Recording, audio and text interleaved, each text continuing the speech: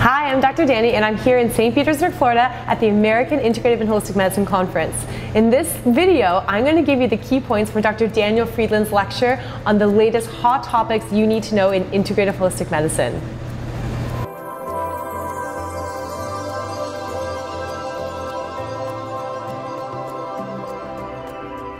So Dr. Daniel Friedland is a leader in evidence-based medicine and also a leader in evidence and science-based mind-body medicine focusing on brain science.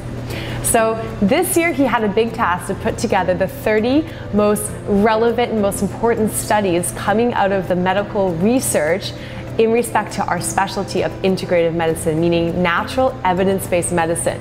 So in this video, I'm going to give you a few of the key points from his lecture that you can start using in your own life today to start feeling better. The first study I'm going to tell you about is a study done in mice. So they took a bunch of mice, and these were mice that were obese, and what they did is they transplanted the gut microbacteria. Just like we have gut microbacteria in our digestive system, well, mice have the same thing. So they took that bacteria and they transplanted the bacteria from their gut into the healthy mice that were not obese. And guess what happened? The non-obese healthy mice, when they had the gut bacteria transplant from the obese mice, they became obese. So what is this showing? Well, it's showing that the gut microbes in our gut are actually responsible for more than just digestion. They, re, they're responsible for our metabolism of food, for things like weight gain, um, difficulty losing weight, our mood. Over 90% of serotonin, our happy hormone, lives in our gut. So that was a big one this year.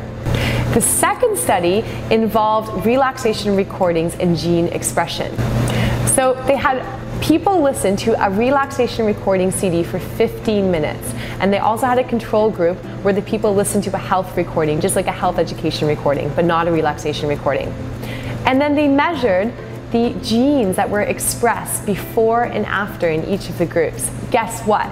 The people who listened to the guided relaxation recording for just 15 minutes, they actually upregulated their good genes and downregulated their bad genes. Okay, well, what do I mean by that? Well, they upregulated the genes for energy metabolism, good mitochondrial function, insulin secretion, so helping you with managing blood sugar, and also for telomere maintenance. That means the length of the things on the end of your cells that tell you how long you're gonna live.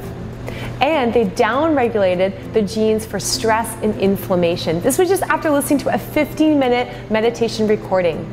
The people who just got the general health recording didn't have any of those benefits. So guys, you can actually change your genes just in 15 minutes by listening to a guided meditation recording.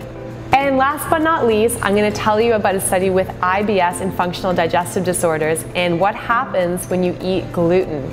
So there's a new research study with something called zonulin. Zonulin is the thing that is secreted by your, your gut um, in response to invasion from bacteria and also in response to, guess what, gluten. What this zonulin thing does is it opens up those tight junctions in between your cells and it makes your gut more permeable. It leads to leaky gut syndrome.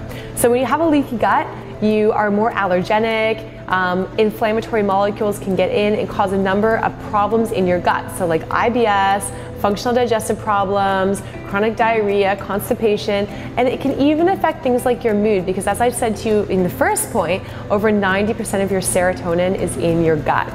So this zonulin thing that we have in our gut naturally Gliadin in gluten from gluten grains can actually trigger this to be released, making your gut leakier. So this is one more reason to really try to minimize gluten grains and instead go for the non-gluten gluten whole grains instead. So brown rice, quinoa, and millet are my favorites. Okay, so that's the wrap up from Dr. Daniel Friedland's Hot Topics in Integrated Medicine lecture, and I'll see you again in the next video.